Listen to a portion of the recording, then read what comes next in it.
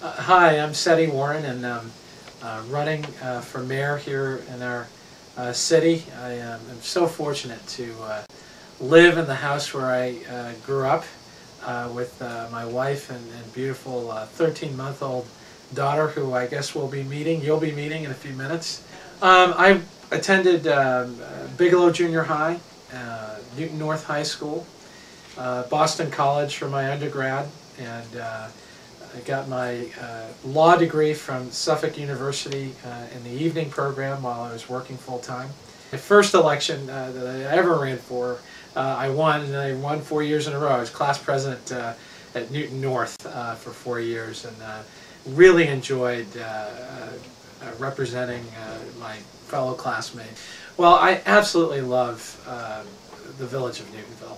Uh, it's particularly special for me because, uh, as I said, I grew up in, in this house. And uh, finally, just remember uh, my parents teaching me how to ride my bike right here on Beaumont Ave, uh, up and down the street. Uh, my father used to hold the back of my bike and, and run up and down the street with me. And one day he just uh, let the bike go, and I didn't even know he was he had let it go, and I was riding.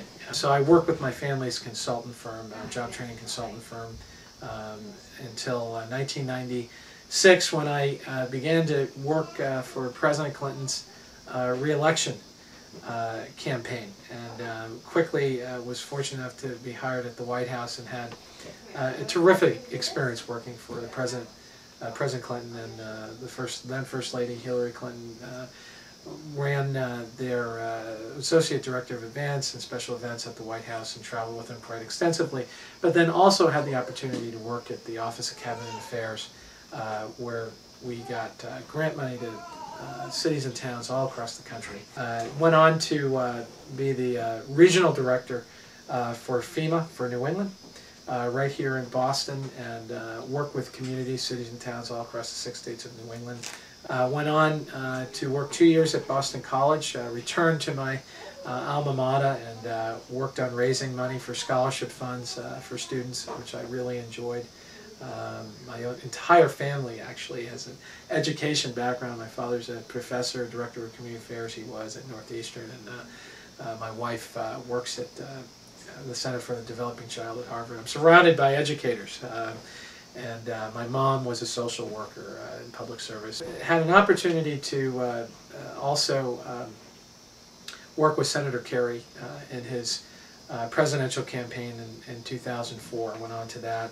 Uh, and then worked in his Senate office as Deputy State Director. I want to see this city really live up to its full potential.